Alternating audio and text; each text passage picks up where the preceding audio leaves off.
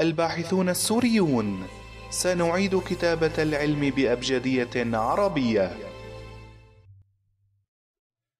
العلاقة بين العمارة والسينما.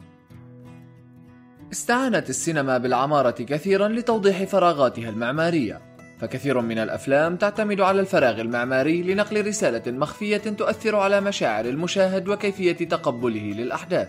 فمن الممكن باستخدام التصميم المعماري لعناصر المشهد نقل شعور الخوف أو الحزن أو القلق وحتى الفرح والسعادة والأمل. فالتصميم المعماري يتعدى توزيع وتصميم المباني المستخدمة في مكان التصوير بل يتعدى ذلك إلى الجو العام واستخدام الألوان والإضاءة والمساحة بل كل ما يمكن ملاحظته بعين الإنسان. بعض الأفلام تحتاج إلى مكان واحد لنقل أحداثها وهذا ما يسمى بسينما المكان. بحيث تدور أحداث الفيلم جميعها في مكان واحد وغالبا ما يكون للمكان تأثير كبير على أحداث الرواية.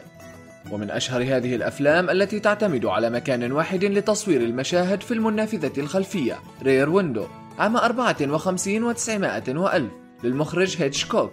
فلا بد أن الصعوبات التقنية المتعلقة بتصوير المشاهد في غرفة واحدة هي ما أثار إعجاب هيتشكوك المعروف باختيار الأفلام الجريئة الطابع والمتحدية. فأحداث الفيلم المتلاحقة مصورة من الرؤية المحدودة بنافذة الغرفة. ومن خلال هذا المنظور نستطيع أن نرى ما يمكن لعمارة المكان أن تؤثر في الأحداث. فإصابة المصور تجبره على رؤية الأحداث من نفس المكان كل يوم مما يستدعي فضوله لمراقبة حياة الآخرين من خلال نافذته المطلة على الجوار. ويعد هيتشكوك من أشهر المخرجين الذين اعتمدوا على التصميم المعماري من أجل إظهار أفضل للأحداث. والذي يظهر في عدد من أفلامه مثل Rope و North by Northwest عام 48 و900 وألف. وإليه تنسب الجملة المشهورة التي كتبها في الموسوعة البريطانية. يجب على مخرج الفن أن يمتلك معرفة واسعة وفهما عميقا للعمارة.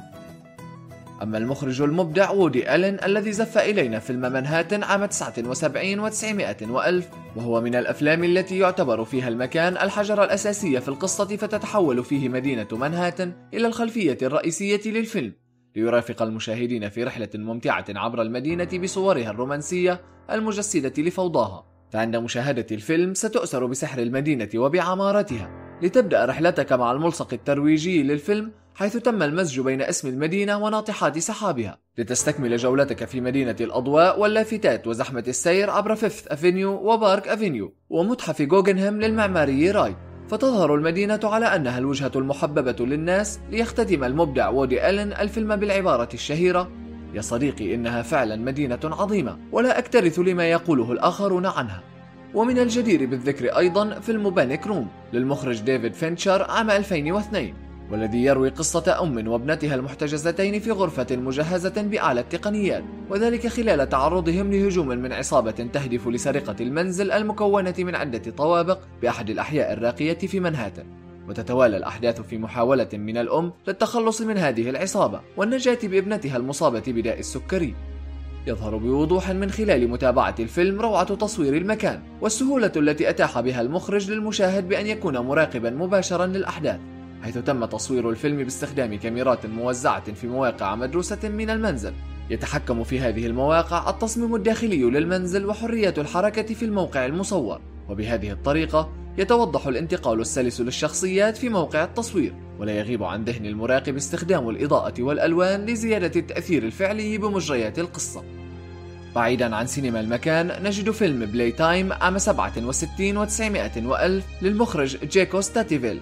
الذي يقدم محاكاة ساخرة وأنيقة للعمارة الحديثة المستقبلية في مدينة باريس حيث تم في هذا الفيلم تسليط الضوء على ملامح العمارة الحديثة ونمط البناء العالمي International Style.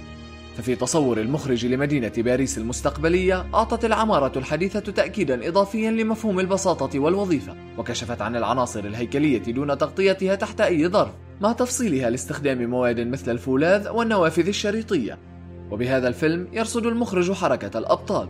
باربرا وهي سائحة أمريكية تزور مدينة باريس الحديثة والفرنسي Monsieur Hulot الذي يتوه بطرقات باريس. ويصور الفيلم بمواقع عدة كالمطار ومبنى المكاتب ومعرض المنتجات والشقة والحديقة. ومن خلال التنقل بين هذه المواقع تبنى فكرة باريس العصرية ذات المساكن الواحدة المتشابهة بنظامها العالمي ومفهوم الانفتاح على الخارج. من أكثر الأفلام تأثرا بعمارة المكان سلسلة أفلام الرجل الوطواط باتمان. فهو كشخصية رئيسية متأثرة بمدينة غوثمان حيث توصف المدينة بأنها الوجه البائس لمدينة نيويورك. تعد مدينة غوثمان القوطية بما تحويه من هياكل بيتونية ومساحات هائلة من التقنيات الميتة الكابوس الرجعي للمدن المستقبلية وهي بذلك تشبه الرجل الوطواط حيث تعتبر المدينة بكاتدر رائيتها الضخمة المدينة المثالية للخفافيش. رغم التصور الحديث للشخصية من قبل المخرج كريستوفر نولان الذي قام باستبدال العمارة القوطية القديمة بناطحات السحاب والأبنية الزجاجية إلا أنها حافظت على الخصوصية المطلوبة لشخصية الرجل الوطواط وبالطبع من خلال التبنيات المختلفة لهذه الشخصية يمكننا ملاحظة تعدد التأثيرات المعمارية بناء على القصة المذكورة. كما في الجزء الثالث The Dark Knight Rises بتصويره التصميم الخاص بسجن الموت الذي تسجن فيه الشخصية فالتعبير عن هذا السجن على أنه الجحيم على الأرض. مصورا من خلال التصميم الشاقولي للسجن الذي يعطيك الأمل بالهروب منه مع استحالة تحقيقه ويدفع بالشعور بضآلة السجناء أمام التصميم العملاق للسجن.